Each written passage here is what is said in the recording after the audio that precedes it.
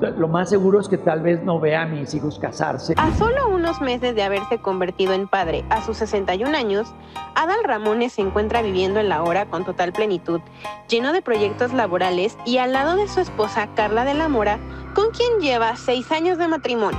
Pero a pesar de la felicidad, el conductor no deja de sentirse apenado por no llegar a conocer a su nieto por parte de su último hijo.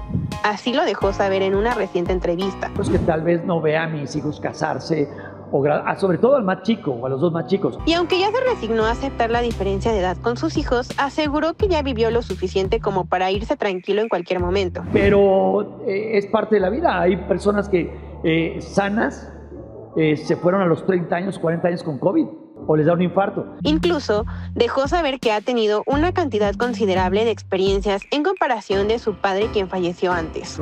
He vivido más que mi padre.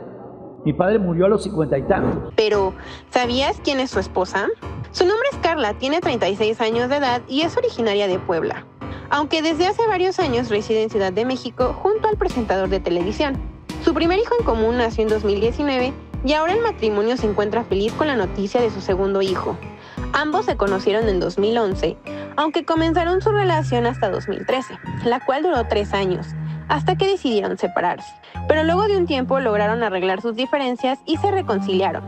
Así fue como el 5 de agosto de 2017 se casaron y formaron una gran familia con dos hijos. Pues recordemos que el conductor ya tenía dos hijos, fruto de su primera enlace matrimonial. La gente dice, wow, ya quisiera tener la energía de Ramones.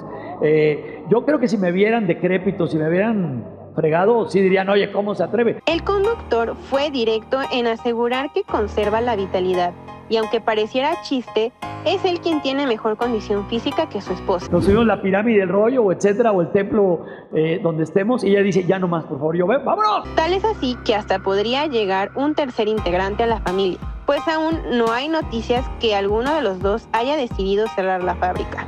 Y bueno, en otros temas te cuento cómo Wendy Guevara habla de la cita que tuvo con el vocalista de Grupo Firme, Edwin Cass. Así que si te lo perdiste, aquí te lo cuento todo. Thank